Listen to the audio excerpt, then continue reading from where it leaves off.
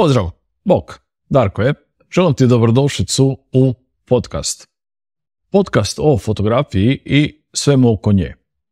Ovaj puta je tema selfie i, u stvari, kako napraviti pristojan selfie. Nećemo reći odličan, nećemo reći savršen, to je, mislim, teško dosta napraviti, ali pristojan. Znači onaj kojeg se u najmanju ruku nećeš sramiti. Prvo, što nam je svakako potrebno, je mobilni telefon. Sad, nevažno o tome koji je, a mobilni telefon prvenstveno jer se selfie rade uz pomoć mobilnog telefona. Mogu se naravno i uz druge kamere, neki GoPro ili čak i fotoaparat, ali ovaj puta čisto da se koncentriramo na mobilni telefon. Prvo, što bi bilo dobro napraviti je probati uopće ne raditi selfie u smislu kad se nađe grupa ljudi, onako malo je teško sve svrstati da dođu i da se vide, to jest uh, uvijek onaj koji drži mobilni telefon će biti najbliži kameri i bit će onako najveći, to jest najveća ta osoba. A svi iza će biti dosta manji. A, stoga je uvijek bolje možda dati nekome drugome mobilni telefon da vas, ako je riječ o grupnom selfiju, zajedno fotografira. Ista stvar.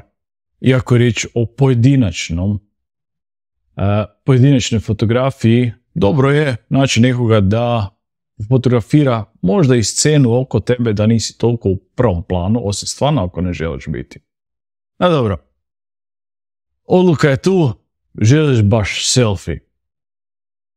Prvo, to jest drugo, prvo u slučaju da je stvarno mora biti selfie, a pogledaj malo ovu prednju stranu i nađi ili majicu ili neku krpicu te ovaj gornji dio gdje je u stvari kamera a, malo obriši, onako, pogledaj na svjetlo da li je sve ok, da nije masno, jer to je obično dio koji je stalno na uhu i gotovo uvijek je masan.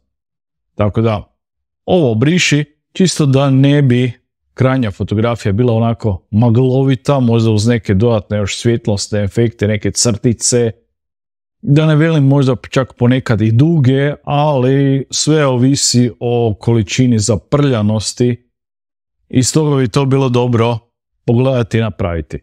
A, što se tiče čišćenja. Ukoliko je riječ o tome da je ova prednje, to jest ovo prednje staklo ili čak ta zaštitna folija staklo, da je slomljeno, a, možda je bolje se prebaciti na ovu zadnju kameru.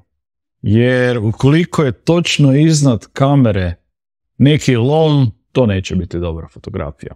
Tako da tu je dobro pogledati naročito oko toga ukoliko su uvijek fotografije onako neke izbljedele, neki čudni su efekti onako izobličenja i razlomljeno je to staklo, prebaci se na ovu zadnju kameru.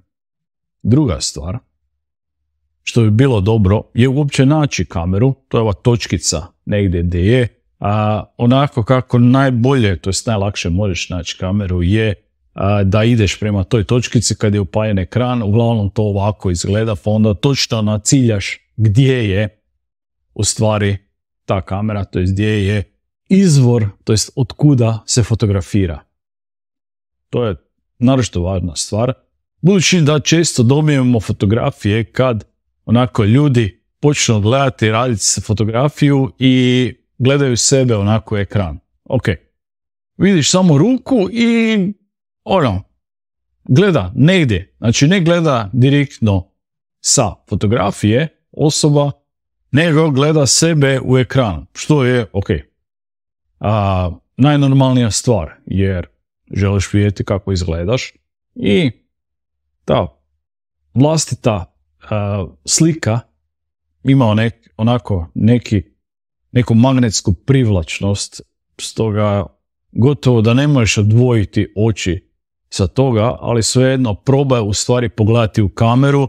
A kamera je obično tu negdje na vrhu gdje se nalazi uho, znači blizu ovog gornjeg mikrofona. Tako da ako i ne nađeš probaj gledati u taj gornji ugao negdje, a ne u svoju sliku na ekranu.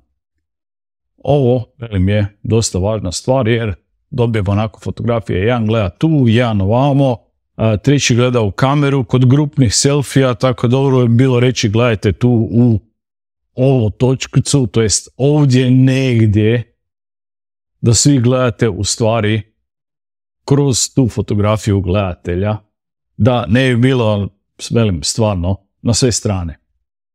Treće, kad već radiš selfie, onako, istina, dobro bi bilo pogledati u tu kameru, a ne u ekran, ali svejedno prije samog selfija provjeri što se nalazi iza tebe. Čisto da ne bi bilo ti neke stvari onako ne izviruju iz ono glave, da možda nemaš neke WC školjke iza i slične stvari. Tako da provjeri cijelu scenu kako izgleda. Da kasnije ne bi bilo, ovo je super izgledam, ali šta je ovo tu negdje u uglu, možda bolje da se ne vidi. Zato prvo provjeri, nakon toga fotografiraj. Ono što znači isto biti problem je da kad klikneš na tu ono obično crveni gumbić da se sve protrese. I s te strane, onako, uz ova tri osnovna savjeta, jedan bonus savjet. Stavi na ono odgođeno okidanje. Dvije sekunde, tri sekunde, pet sekundi, sad ovisi kako koji mobilni telefon ima, ali možeš uvijek postaviti odgođeno.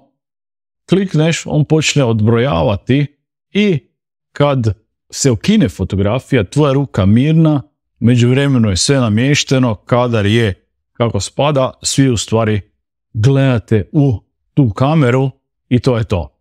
Tako da to je bonus, savjet koji mogu reći oko toga. Možda i dodatni.